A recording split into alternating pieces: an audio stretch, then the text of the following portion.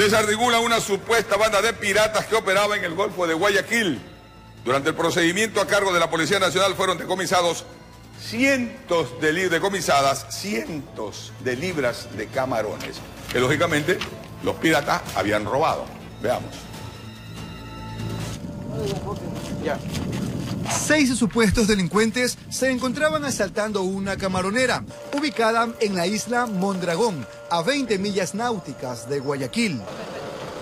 En ese momento, la Policía Nacional allanó las instalaciones y frustró el delito. Pues han ingresado y en el momento en que se procedían a, salir de, dicha camaronera fueron neutralizados exitosamente por parte de la Policía Nacional. De igual forma hubieron disparos hacia el personal policial, eh, pero se logró neutralizar a los seis ciudadanos que se encontraban en el punto.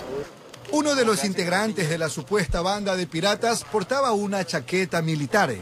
Los sujetos se lanzaron al mangle para escapar, pero no lo lograron. El operativo estuvo a cargo de la Subdirección de Delitos contra la Propiedad. Se encuentran dos eh, embarcaciones eh, que se encuentran, eh, de acuerdo a las verificaciones que se ha hecho, no se encuentra con el número de troquelado, es decir, no tiene un número específico de motor, en donde se presumiría que son motores sustraídos de algún hecho delictivo también. De igual manera existen teléfonos celulares.